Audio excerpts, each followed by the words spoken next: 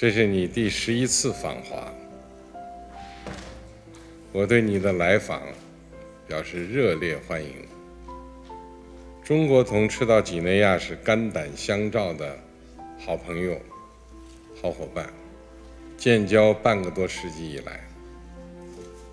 无论国际风云如何变化，两国始终守望相助，风雨同舟。